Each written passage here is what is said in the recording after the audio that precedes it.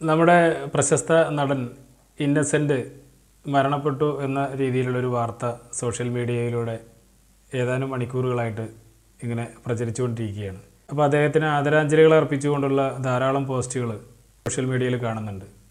അത്തരം പോസ്റ്റുകൾ ധാരാളം പേര് ഷെയർ ചെയ്യുന്നു. ഒരുപാട് പേർ ആദരാഞ്ജലികൾ അർപ്പിച്ചുകൊണ്ടുള്ള പോസ്റ്റുകൾ ക്രിയേറ്റ് ചെയ്ത് സോഷ്യൽ മീഡിയയിൽ പോസ്റ്റ് ചെയ്യുന്നു. ഇതിനു മുൻപ് നടൻ ശ്രീനിവാസൻ ഇതുപോലെ ഒരിക്കൽ അന്തരിച്ചതാണ്. പക്ഷേ അദ്ദേഹം ഇപ്പോഴും വളരെ ഊർജസ്വലനായി ജീവിച്ചിരിക്കുന്നു എന്നുള്ളതാണ് സന്തോഷകരമായിട്ടുള്ള ഒരു കാര്യം. ഇത്തരത്തിൽ സോഷ്യൽ മീഡിയയിൽ തെറ്റായ ചില വാർത്തകൾ ഇങ്ങനെ പ്രചരിപ്പിച്ചു കൊണ്ടിരിക്കുന്ന ചില ആളുകളുണ്ട്. അത് കേട്ട പാതി കേൾക്കാത്ത പാതി വിശ്വസിച്ചുകൊണ്ട് അത്തരം പോസ്റ്റുകൾ ഷെയർ ചെയ്യുന്ന ആളുകൾ. അത് കണ്ട് അത്തരത്തിലുള്ള പോസ്റ്റുകൾ പുതിയതായിട്ട് ക്രിയേറ്റ് ചെയ്ത് ഇത്തരം മാധ്യമങ്ങളിൽ പോസ്റ്റ് ചെയ്യുന്ന ആളുകളൊക്കെ ധാരാളമുണ്ട്. ഇങ്ങനെയുള്ള പോസ്റ്റുകൾ കാണുമ്പോൾ ആളുകൾ അത് വിശ്വസിച്ച് പോവുകയാണ്. അപ്പോൾ അതിന്റെ സത്യാവസ്ഥ എന്താണ് എന്നുള്ളത് പരിശോധിച്ചതിന് ശേഷം മാത്രം ഇത്തരത്തിലുള്ള പോസ്റ്റുകൾ ഷെയർ ചെയ്യുക അല്ലെങ്കിൽ ഇത്തരത്തിലുള്ള ആദരാഞ്ജലികളൊക്കെ അർപ്പിച്ചുകൊണ്ടുള്ള പോസ്റ്റുകൾ ക്രിയേറ്റ് ചെയ്യുക എന്നിട്ട് പോസ്റ്റ് ചെയ്യുക. അതൊക്കെ ഒരു ഉത്തരവാദിത്തമുള്ള ഏതെങ്കിലും മാധ്യമ സ്ഥാപനങ്ങൾ ഇത്തരത്തിലുള്ള വാർത്തകൾ പ്രസിദ്ധീകരിച്ചിട്ടുണ്ടോ അല്ലെങ്കിൽ പബ്ലിഷ് ചെയ്തിട്ടുണ്ടോ എന്നുള്ളത് നമ്മളൊന്ന് പരിശോധിക്കുന്നത് നല്ലതായിരിക്കും. കാരണം അതീവ ഗുരുതരാവസ്ഥയിൽ രോഗാവസ്ഥയിൽ ചികിത്സയിലിരിക്കുന്ന ഒരാൾ മരണപ്പെട്ടു എന്നുള്ള രീതിയിലൊരു പ്രചരണം അതീവ ദുഃഖകരമായിട്ടുള്ളൊരു കാര്യമാണ്.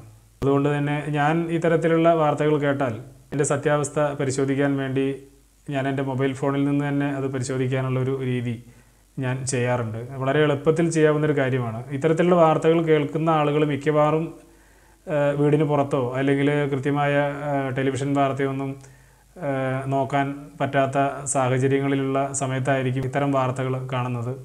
അപ്പോൾ ഇത്തരം വാർത്തകൾ കണ്ടാൽ ഉടനെ അതിന്റെ സത്യാവസ്ഥ പരിശോധിക്കാനുള്ള സാഹചര്യം ഇല്ലാത്തതുകൊണ്ട് വിശ്വസിച്ച് പോവുകയാണ്.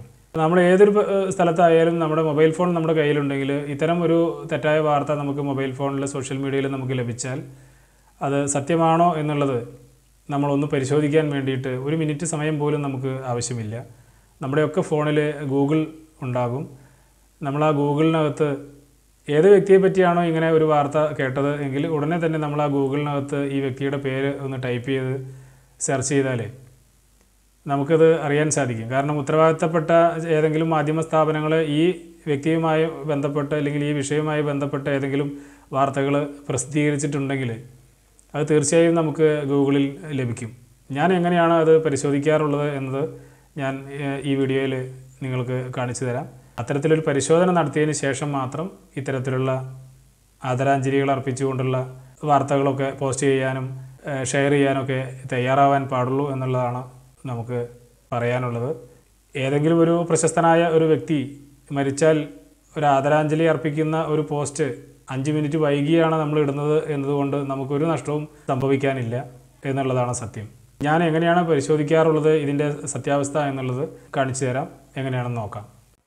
മലയാളത്തിന്റെ പ്രിയ നടൻ ഇന്നസെന്റിന് ആദരാഞ്ജലികൾ അർപ്പിച്ചുകൊണ്ടുള്ള ചില പോസ്റ്റുകൾ ഞാൻ സോഷ്യൽ മീഡിയയിൽ കണ്ടപ്പോഴാണ് ഇതിന്റെ ഒരു സത്യാവസ്ഥ എന്താണ് എന്നറിയാൻ വേണ്ടി ഉടനെ ഞാൻ ഗൂഗിൾ ക്രോം ഓപ്പൺ ചെയ്ത് ഇന്നസെന്റ് എന്ന് ടൈപ്പ് ചെയ്തു. അതിനുശേഷം സെർച്ച് ബട്ടൺ പ്രസ് ചെയ്തു. സെർച്ച് ബട്ടൺ പ്രസ് ചെയ്താൽ ഉടനെ നമുക്ക് ഇന്നസെന്റുമായി ബന്ധപ്പെട്ട കുറച്ച് വാർത്തകളും കാര്യങ്ങളൊക്കെ വരുന്നുണ്ട്. അതിൽ ആ ഗൂഗിൾ എന്നുള്ളതിന്റെ ചോട്ടിൽ ഇങ്ങനെ കുറച്ച് ഓപ്ഷൻസ് വരുന്നുണ്ട്. അതിനകത്ത് വാർത്തകൾ എന്നുള്ള ഒരു ഓപ്ഷൻ ക്ലിക്ക് ചെയ്ത് കഴിഞ്ഞാൽ ഇന്നസെന്റുമായി ബന്ധപ്പെട്ട വാർത്തകൾ ലേറ്റസ്റ്റ് ആയിട്ട് ഏറ്റവും അവസാനം പോസ്റ്റ് ചെയ്തിട്ടുള്ള അത്തരത്തിലുള്ള വാർത്തകളെല്ലാം ഇങ്ങനെ വരുന്നുണ്ട്. അതെല്ലാം തന്നെ ഉത്തരവാദിത്തപ്പെട്ട മാധ്യമ സ്ഥാപനങ്ങൾ റിപ്പോർട്ട് ചെയ്തിട്ടുള്ള വാർത്തകളാണ്. ഏഷ്യാനെറ്റ് ന്യൂസ് പോലെ മാധ്യമം പോലെ അങ്ങനെ മാതൃഭൂമി അങ്ങനെ കുറേ ഉത്തരവാദിത്തപ്പെട്ട പത്ര സ്ഥാപനങ്ങൾ റിപ്പോർട്ട് ചെയ്തിട്ടുള്ള വാർത്തകളാണ് ഈ കാണുന്നത്. ഇത്തരത്തിലുള്ള വാർത്തകൾ ആറ് മണിക്കൂർ അഞ്ച് മണിക്കൂർ അങ്ങനെ കുറേ ഒരു മണിക്കൂർ അങ്ങനെയുള്ള ഇടവേളകളിൽ വ്യത്യസ്ത മാധ്യമ സ്ഥാപനങ്ങൾ പോസ്റ്റ് ചെയ്ത വാർത്തകളാണ്.